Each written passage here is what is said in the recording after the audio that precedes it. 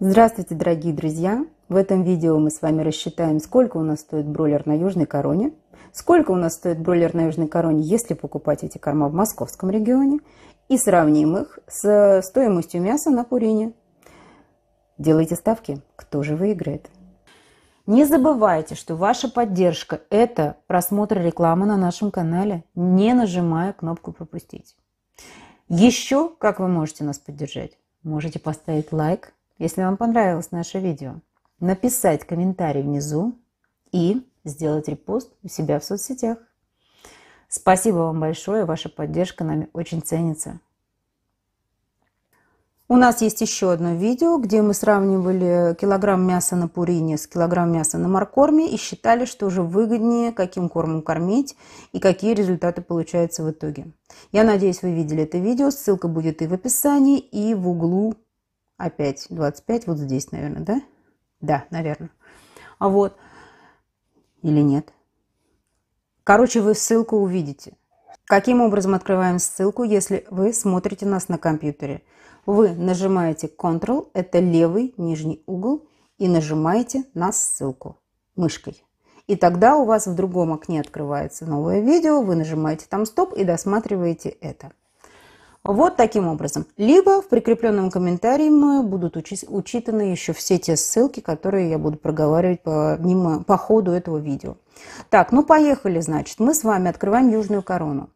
А, сразу говорю о том, что в данном случае стоимость цыпленка была 43 рубля 36 копеек. Но, так как мы на Пурине рассчитывали по 47 рублей 07 копеек, значит и здесь мы будем с вами учитывать в стоимости цыпленка 47 рублей 07 копеек. Правильно? Правильно. С правой стороны вы видите табличку, которая вам показывает цены на комбикорма, которые использованы в этой таблице. Эти цены наши. Мы их вам показывали. Это партия первая закупки нашей Южной Короны с очень большими благами. Но цены эти э, на тот момент, э, в принципе, были ну, подобны ценам на сайте Южная Корона. Если вы живете там, где цены указаны на сайте Южной Короны для вас актуальны, то эта таблица будет приближена к результатам, которые вы можете получить, закупая корма по их ценам. У них на сайте они есть. Но так как Южная Корона находится от нас достаточно далеко, то цены московского региона в разы разнятся с ценами э, нашими, которые нам удалось вот разово получить. Поэтому Поэтому я буду просчитывать и по тем ценам, и по этим. Таблицы будут одинаковые, но цены будут разные. Благо, эта таблица позволяет это сделать. Почему? Устроена она так. На конкретное число Александр, мой муж, кто не знает, фиксирует количество корма, которое съела птица. Если у нас не было в этом промежутке времени ни падежей, ни вынужденных забоев, то эта цифра будет одна. То есть съели они старт, он переводит на рост, значит он посчитал, сколько старта они съели и записал. Таким образом составлена эта таблица. На 30 апреля у нас был вывод, вот здесь это тоже указано, 90, 98 э, штук.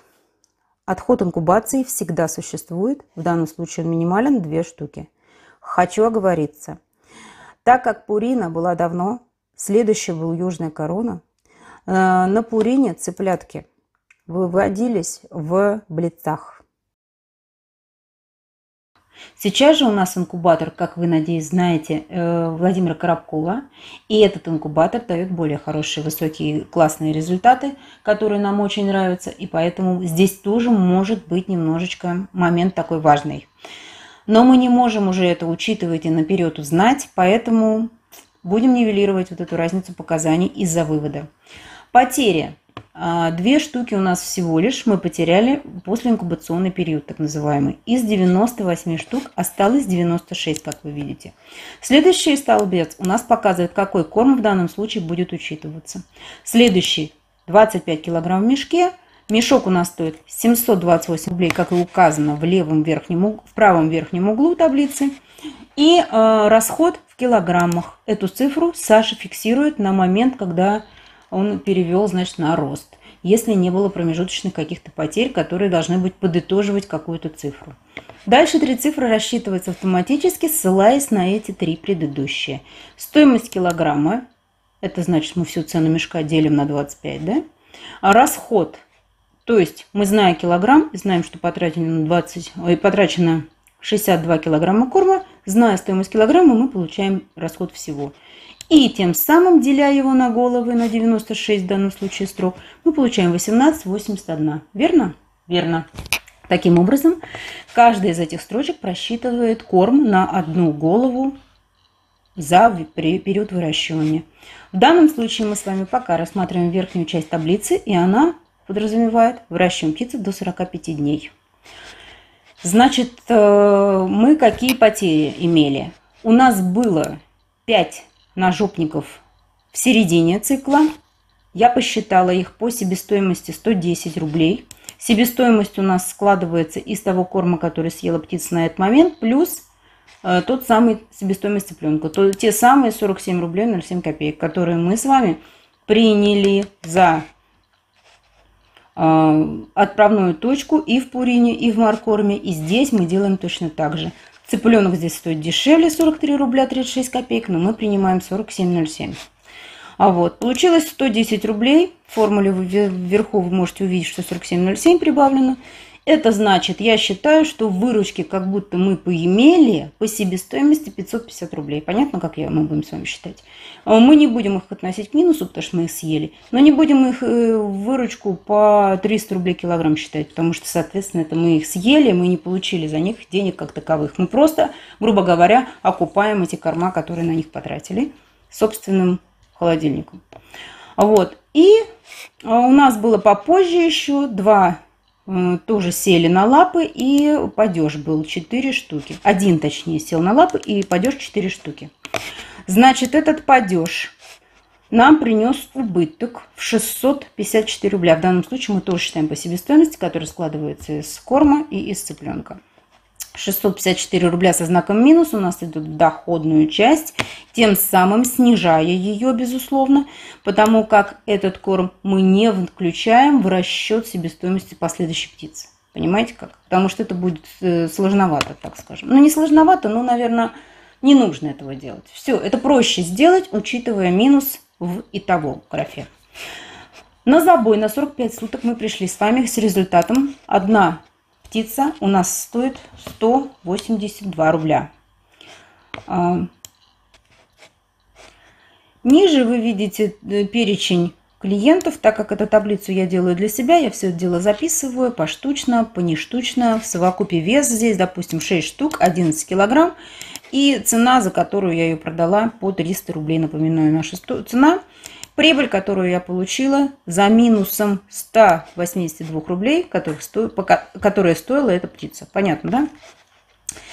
Из этой таблицы мы с вами можем что для себя полезное выжить. Средний вес птицы и килограмм мяса. Рассчитываем, значит, эту циферку. Она у меня рассчитана двумя, получается, способами. Первый способ вы видите сейчас в таблице. То есть это а, корм 134 рубля 85 копеек. Ровно корм. Мы рассчитываем, сколько у нас а, стоит по кормам килограмм мяса в птице. Внимательно. Мы не учитываем цыпленка или за какую цену вы купили цыпленка, или вот этот вот показатель, весь предыдущий, из которых складывается себестоимость каждой птички, мы не учитываем. Мы сейчас с вами берем только корма. Кормов птица съела на 134 рубля 85 копеек. Также мы с вами будем считать, считали, точнее уже, и в Пурине.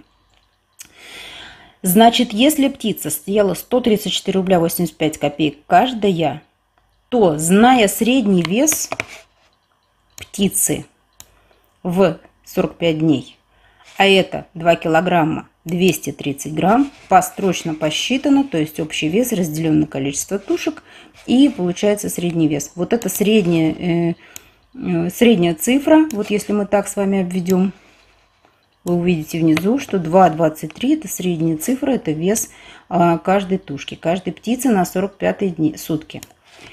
Ну и 134 рубля 85 копеек мы с вами делим на средний вес тушки и получаем, что у нас килограмм мяса стоит 60 рублей 47 копеек.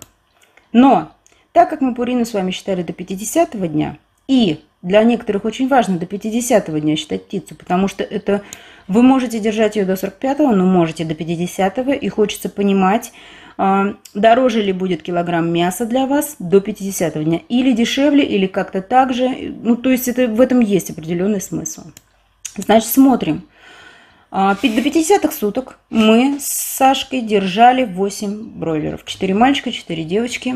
Вот они тут все. А, и забили их в 50-е сутки с вот такими вот весами. Напоминаю, здесь мы не докармливаем птицу зерном, потому что эти корма не содержат лекарственных препаратов. Поэтому мы и, э, так скажем, очень заинтересовали, заинтересовались этими кормами, потому что нам не придется докармливать птицу э, злаковыми, размолом зерновым, потому как на размоле есть свои особенности содержания. Если вы хоть раз это пробовали, то вы должны это тоже знать. Так, 8 птиц, 23 килограмма, средний вес 2 900. 2 900, 2 900 товарищи. Это будет 156 рублей 24 копейки. Итого она съела каждая птица, потому что прибавилось еще 21 рубль 39 копеек на каждую голову. Но они доели, до этого срока-то все равно что-то кушали. Вот. И поэтому у нас килограмм мяса при таком же точно расчете схеме получился 53 рубля 88 копеек. Итак, мы с вами объединяем в итого, добавляем вот такой столбец, южная корона. Старт 18 килограмм, ой, 18 рублей 81 копейка. Если мы снова вернемся к нашей таблице, вы увидите вот здесь 18 рублей 81 копейка. Мы из этой таблицы точно так же можем сложить снова же все те же самые цифры. Это будет вторая же проверка наших же расчетов. Следующая цифра это grower или рост так как таковой, да, ну так называется корма. Здесь названия идут немножко по-пуриновски, но смысл будет ясен. Гроуэр у нас 44 а, рубля 15 копеек. Смотрим снова на южную корону. Рост 44 рубля 15 копеек. И следующий корм это финиш. Финиш одна циферка, финиш другая циферка. И финиш, так как мы сравниваем с вами 50 сутки в основном, ну там и 45 укажем, и третья цифра 21,39. Итого выходит у нас сколько? Правильно, 93 рубля 29 копеек. А, итого мы все вместе с вами складываем, получаем 156 рублей 24 копейки. Копейку потеряли. Ладно, бог с ней. И, значит, э, средний вес тушки в 45 дней будет у нас 2 килограмма 20 230 грамм. Забиваем 2 килограмма 230 грамм, вес 46 дней. Средний вес тушки в 50 дней у нас получается 2 900. Сюда забиваем 2 900 и 53 рубля 88 копеек это себестоимость мяса. Точно так же получается, как и здесь. Мы можем одну циферку сумму разделить на вес, получить а, 53,88. Точно такая же цифра. Тоже, точно так же переписываем 46-дневные результаты и посмотреть, что мы с вами видим. Мы с вами видим, что птицу на южной короне достаточно выгодно выращивать до 50 дня. А может быть и подольше, если вы хотите получить максимальные веса. Почему? Потому что 2,9 килограмм мы получили за 53 рубля 88 копеек килограмм. А 2,23 вес мы получили с вами по 60 рублей 47 килограмм. То есть килограмм мяса стоит дешевле в 50 дней, и он составляет 53 рубля 88 копеек. Запомнили эту цифру, точнее она у нас с вами останется. И теперь мы посчитаем, сколько у нас южная корона получится по ценам московского региона. Итак, цены московского региона у нас получаются такие. 1100 стоит старт, 950 стоит рост и финиш стоит 850. Ту же самую таблицу я всю полностью пересчитываю только по этим ценам комбикормов. Вот она, я вам покажу медленно, кто хочет, может меня перепроверить. И получаем результаты, которые заносим точно так же в итоговую таблицу. Вот они. Получается, что килограмм э, мяса 50 дней у нас стоит уже 76 рублей 66 копеек.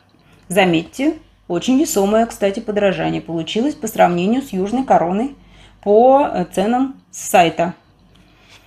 И в 46 дней у нас также получилась стоимость килограмма мяса выше, это 86 рублей 35 копеек. Вот и сравните, получаются такие цены. Но давайте же посмотрим, что у нас будет, когда мы с вами откроем Пурину. А вот такие цифры у нас с вами получались. Как получились такие цифры, вы сможете посмотреть в видео Пурина и Маркорн. Вот в этом батле, так скажем. Но и это еще не все. Я хочу показать вам веса второй партии, которые у нас получились. А вот все остальные расчеты, в общем-то, не имеют значения. Хотела обратить ваше внимание, что падеж был больше. Вот в чем дело. Здесь падеж составил 11% от партии. Не такой, как были на предыдущей первой партии. Там падеж составлял ну, просто совершенно смешную 4% цифру. И то, знаете как, он такой был очень странный падеж. Я думаю, что просто там началась жара, но, кстати, во второй партии тоже у нас срубила птицу жара. У нас падеж был прям разовый от СВС и много. Сразу 12 штук мы потеряли. Но партия была большая. Было больше, по-моему, 120 штук. И, значит, э, получилось, что 14 птиц мы потеряли. И это составило 11%. Да? Много много. Но от этого никто не застрахован. Мы не относим это никак к кормам в данном случае, потому что, ну, форс-мажор и наш, наши птицеводы, с которыми мы общаемся, тоже страдали сильно от этого. Не мы одни, так скажем. Вот. При этой партии я хотела сказать вам вот что. Когда вы считаете, допустим, что у вас э, птица очень крупная, и она там очень вам нравится, и она здоровская, все хорошо, все отлично. Но вот поверьте, когда я э, занималась потрошением этой партии, мне казалось, что она значительно превышает первую. Вот прям я вам клянусь, именно так мне и казалось. Но когда я фиксирую эти данные, то есть я записываю их четко, каждую циферку, то получается в итоге на, в документе я вижу, что это вообще бывает не так, как мне кажется. Я понимаю, когда люди, не записывающие свои результаты досконально, не считая ничего, ошибаются в своих расчетах, потому что им кажется, что их птица больше или наоборот меньше. Это все настолько субъективная оценка человеческого разума. Мы просто фокусируемся на чем-то там на трех курах, которые там были по 3, 2, по 3 200. Все, значит, все гиганты. А если мы посчитаем с вами и сложим все вместе партию, то получится, да, слегка больше. В 45 дней мы били эту партию в 45-47, 2 килограмма 26 грамм. Ой, 260 грамм. 2 килограмма 260 грамм получилось. Посмотрим в итого 260 или 230, вы знаете, ну то есть тут незначительная особо разница. Но по ощущениям моим было, что эта партия просто гигантов, и я обязана должна была вам срочно это показать. Кстати, эту партию вы можете видеть. Доход. Доход с этой партии был очень солидный приличный, но цены, я хочу вам напомнить, что снова же это были наши южнокороновские цены. Не цена московского региона на данный момент. Пока это мы докармливали те корма, которые у нас были. Из 64 тысяч 800 рублей выручки, мы, напомню, продаем птицу по 300 рублей, 42 тысячи составляла чистая прибыль. И это при условии потерь в 11%. Это, я считаю, очень шикарный, хороший результат. Хочу напомнить вам вот что. Когда мы рассчитывали с вами себестоимость по пурине, мы с вами учитывали еще такие показатели, как витаминные добавки, электричество, дополнительные расходы. Вот это все как Пурине, так и в Южной Короне мы с вами не учитываем, рассчитывая себестоимость цены и мяса, сколько один килограмм птицы сожрал корма. Грубо говоря, вот так. Мы считаем вот так в упрощенной схеме. Почему? Потому что какая-то партия летом, какая-то партия зимой. В себестоимости бройлера мы указывали все возможные расходные состав... составляющие, э, которые можно было бы учесть. И, в общем, здесь мы эти составляющие я не учла. Но вот здесь, если хотите, я прописала на первой партии из 59 тысяч выручки 41 700 э, это будет прибыль чистая. И если мы из нее повычтем с вами витамины, электричество и доп. расходы, как будто бы себе это была зима, то у нас останется 31 тысяча. Ребят, это больше половины. Это больше 50%. Но снова хочу заметить по поводу цен. Да? Я вывод свой делаю такой. Если у вас есть возможность покупать корма Южная Корона по предлагаемой на сайте у них а, стоимости, то думать здесь нечего вообще. Если у вас московский регион и цены на Южную Корону приблизительно приравниваются к Пурине, то есть смысл здесь кое о чем подумать. Если вы чувствуете в себе силы вырастить птицу без лекарственных препаратов э, и хотите попробовать это сделать, то в данном случае нет у нас конкурентов в Южной Короне. Если вы боитесь выращивать птицу без лекарственных препаратов, учтите, что у Южной Короны есть еще серия брюхокорм, брюховецкий. Там есть лекарственные препараты можно попробовать на южных кормах вырастить именно на этой серии. Что касается пурины. Э, я считаю, что абсолютно незаконно бояться э, тех лекарственных препаратов, которые использованы в пурине, потому что они ничем не отличаются от тех лекарственных препаратов, которые используются в большинстве кормов. В старте во всех, а в росте во многих, в финише меньше, но тоже встречается. Мы делали большую работу по поводу кормов. Вы можете все это дело посмотреть. Я понимаю, что достаточно много времени нужно, но там есть тайм-коды. В этом видео в основных есть тайм-коды для того, чтобы вы могли найти сразу же. Тайм-коды прописаны в описании. Нажав на интересующий вас корм, вы можете попасть на то время в видео, которое вам расскажет именно о том корме, который интересует вас. Понимаете? Это э, сокращает ваше время вы же люди занятые. Я надеюсь, мой сегодняшний рассказ был вам полезен. Я надеюсь, что вы сможете сделать полноценные выводы о том, какой корм вам стоит выбрать и о том, какой корм вам стоит поискать. А вот. Я вас ни к чему не склоняю. Если вы новички, то возможно, что э, пурина для вас наилучший вариант, потому что она простит вам многие э, погрешности или невнимательность к птице. Но если вы профессионалы и имеете возможность достать южную корону, я бы вам рекомендовала, просто рекомендовала попробовать. Понравится, не понравится, дело такое. Каждое хозяйство обладает определенным рядом индивидуальностей, неповторимых. И я хотела бы вам еще раз подчеркнуть, что это только ваше, ваш выбор. У нас птица растет на южной короне те маленькие замечания, которые бы я хотела отметить. Мне кажется, нам кажется, что в южной короне недостаточно кальция. Потому что с другими кормами мы не сталкивались э, с таким количеством ножопников. Или ситуация обстоит так, что птица очень быстро растет, набирает массу, и действительно это самые хорошие результаты, которые у нас были на южной короне, вышли. И, может быть, в связи с этим, раньше, не получая таких весов, привесов, мы и не знали такого количества упавших на ноги. Но в защиту хочу сказать, что стоимость мела кормового 5 рублей килограмм. Если в мешке, мешок, извините, сколько у нас себе стоит, этот килограмм-то стоит корма? У нас килограмм. Допустим, самого дорогого старта стоит по московским ценам 44 рубля. Я не хочу, чтобы мне заменили 2 килограмма э, корма на 2 килограмма мела в этом мешке из 25 килограмм и продали по такой же цене. Я лучше мел куплю сама и добавлю его сама. Зная об этом, я могу сделать определенные пропойки и определенные подкормки самостоятельно.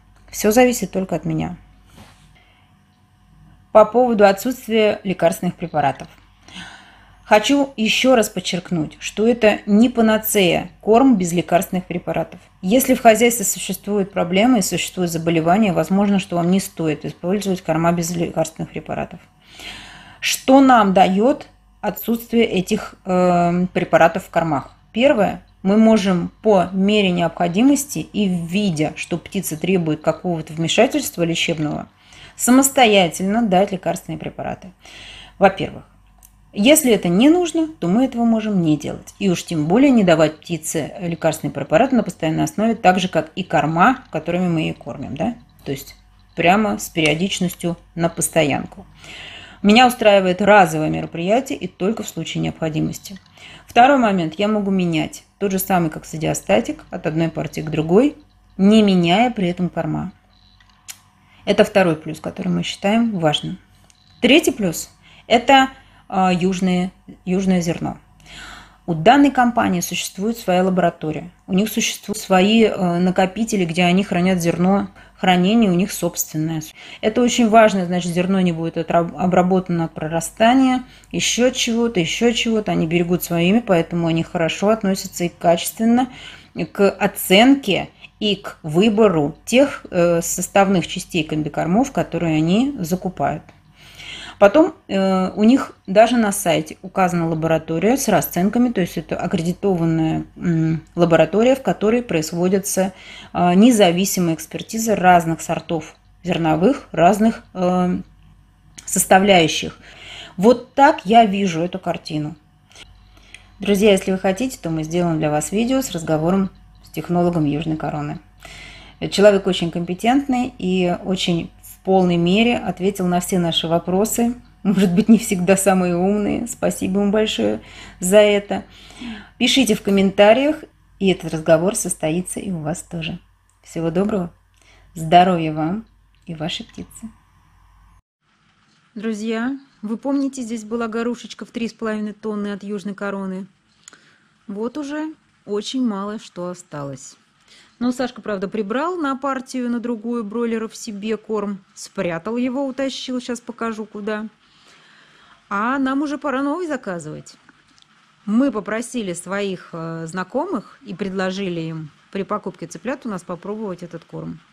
Они обещали рассказать нам о результатах в своих хозяйствах. Для нас это очень ценный опыт.